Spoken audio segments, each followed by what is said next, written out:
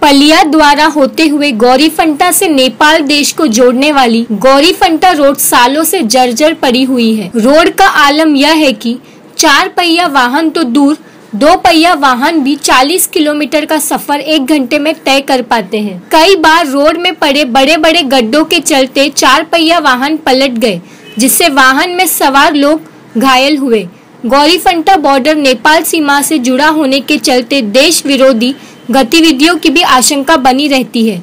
इसके अलावा तस्कर इस बॉर्डर से रोज़ाना लाखों रुपए का माल भारत से नेपाल व नेपाल से भारत ले जाया करते हैं। सुरक्षा की दृष्टि को लेकर इस सीमा पर एसएसबी कस्टम सहित विभिन्न खुफिया एजेंसियों व विभाग के कर्मचारी तैनात है लेकिन उसके बावजूद भी किसी भी सरकार ने इस रोड के निर्माण को लेकर कोई ध्यान नहीं दिया।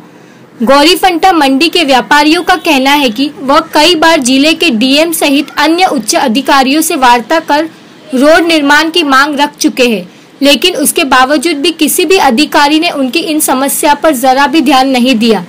वही रोड के जर्जर होने के चलते भारत देश के अलावा नेपाली नागरिकों में भी ज़िले के अधिकारियों की लापरवाह कार्य प्रणाली को लेकर रोष व चर्चा का विषय बना है।